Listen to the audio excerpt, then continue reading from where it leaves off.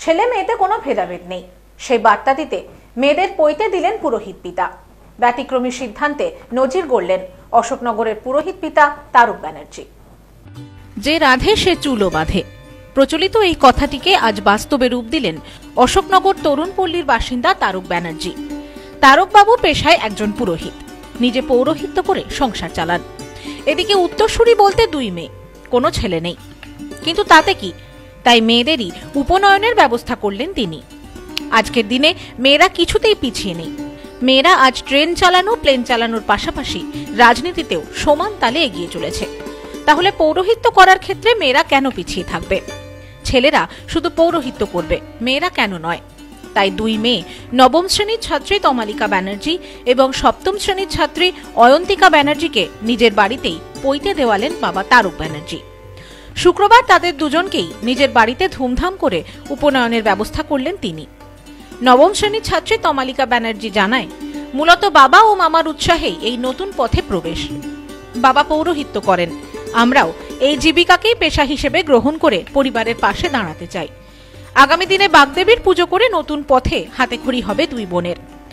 ইচ্ছা রয়েছে বাবা মা আমাদের পাশে দাঁড়িয়েছে, আমরাও সেরকম তৈরি হয়ে বাবা মার পাশে দাঁড়াবো।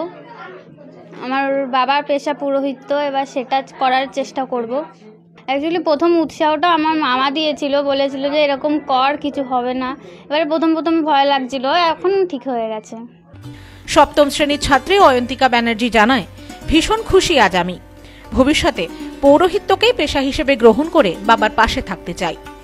এছাড়াও দুই বোন আমাদের ক্যামেরার সামনে জানিয়েছেন, বাবা পৌরোহিত্য করে সংসার চালান। তাদের কোনো ভাই বা দাদা নেই। তাই বাবার পাশে দাঁড়াতে চান এটাই স্বপ্ন। এমনকি আগামী দিনে তারা পৌরোহিত্যকে পেশা হিসেবে নিতে চান। আগামী দিনে চিন্তা রয়েছে আমি আমার বাবার পাশে পেশা হিসাবে এটাকে পেশা হিসাবে নিয়ে আমি আমার বাবার পাশে দাঁড়াতে চাই। তাদের বাবা তারকবাবু জানান মেয়েরা কোনো কিছুতেই পিছিয়ে নেই। তাই পৌরোহিত্যেও তাদের অগ্রাধিকার দেওয়ার জন্য এই ভাবনা। মেয়েদেরও যথেষ্ট আগ্রহ ছিল এতে। সেই সাথে পাড়া প্রতিবেশীরাও উৎসাহ দিয়েছেন। সেই সাথে তিনি পরবর্তীকালে এই কাজে সকলকে এগিয়ে আসার বিষয়ে উৎসাহ দেন। আজকে মেয়েরা কোনো দিক দিয়ে পিছিয়ে নেই। ট্রেন চালাচ্ছে প্লেন চালাচ্ছে দেশ চালাচ্ছে রাজ্য চালাচ্ছে তাহলে পৌরোহিতের দিক দিয়ে কেন পিছিয়ে থাকবে?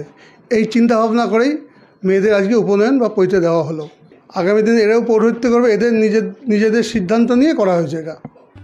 এদিন গায়ে হলুদ থেকে হোম যজ্ঞ সানাই ও ব্যান্ড পার্টি বাজিয়ে সমস্ত নিয়মকানুন মেনে চলে উপনয়নের কাজ।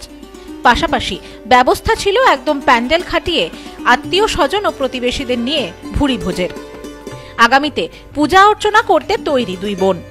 এমনটাই জানালেন আমাদের ক্যামেরার সামনে। Bureau report, news no man's land Ashoknagar.